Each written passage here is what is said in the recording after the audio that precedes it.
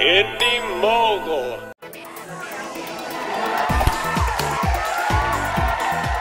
Once again, foreign film industries try to remind Americans that they exist. You're watching Beyond the Trailers review of The Warrior's Way.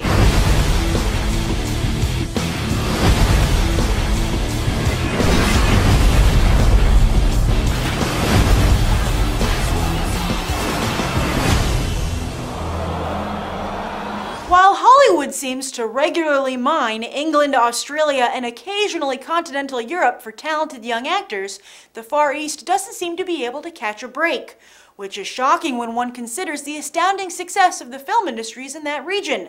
The only actors who have managed to fight their way into Hollywood are, perhaps fittingly, martial arts actors, the most notable being Bruce Lee and Jackie Chan. Both men only truly made their mark with mainstream audiences in the United States by playing to their stereotypes with great success. However, that is a lesson other Asian actors seem unwilling to learn. Take Jang Dong-gun. He is a huge movie star in South Korea and he now hopes to introduce himself to American audiences with The Warrior's Way, a kind of martial arts Moulin Rouge. The film is made in English and co-stars Geoffrey Rush, Kate Bosworth, and Danny Huston, actors American audiences know but don't usually pay to see.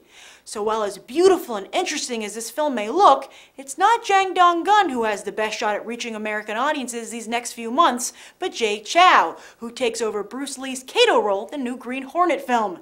The system might be flawed and yes, somewhat offensive, but actors like Jang Dong-gun would do well to remember that it can only be changed from the inside. The Warrior's Way. Right. How was it? I thought it was pretty cool. I enjoyed it a lot. What made you come and see it today? Um, I'm a martial artist and I practiced Japanese sword for 20 years. How'd now. they do? They did very well. They didn't use a Japanese style because most of their work was ha- one-handed. Japanese is too, but it was actually quite good. I thought it could have been faster with the action. You know, it was a little too like complacent and easy. But when it had action, it had action. But it could have been more of that. Very interesting filming, good action. Uh, I, I thought the acting was brilliant. Each character was, I think, very well brought out. It's kind of a combination of Eastern and Western films. and Right, which is storytelling, right? interesting. The cowboy thing with the, you know the samurai type guys. Yeah, So that was right? pretty Did that neat. work, or was it I seem like thought pretty well. No, no, I thought it worked. I liked it. Well, again, I, li- I lived in Japan for 10 years, so I'm very familiar with uh, You're the perfect culture. audience member for this movie. but um, I thought it was very well done. He th- he he integrated well, slowly, step by step, through his you know laundry and so on. And they explained it very well that he he transitioned from an assassin who was a lone lone wolf kind of guy into uh, understanding that you know cooperating with these people and, and the soil and the work and all that stuff. It was, I thought it was very well integrated. what did you think of the lead actor? He's a big he's star pretty in cool. South no, he's pretty good. Yeah, he's got a great look, and he's got you know, very slick, very smooth. What do you say to people who are like, I don't know the lead actor, I've never heard of this movie before, I'm not going to see it?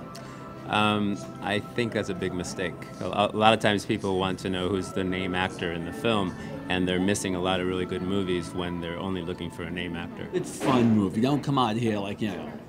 Oh my God, this is a, fun, easy movie. It's good. I'd give it a seven to eight. I would say eight. So if you're feeling adventurous, you might want to see The Warrior's Way, as audiences give it a solid 7.5. And as the year comes to a close, it's time to vote in BTT's Top 10 Movies of 2010 poll. Go to this link to cast your vote, and the results will be revealed at the end of the year with a special episode. I'm Grace Randolph reporting from Regal Union Square, and I hope you'll go beyond the trailer for these other top movies. Thank you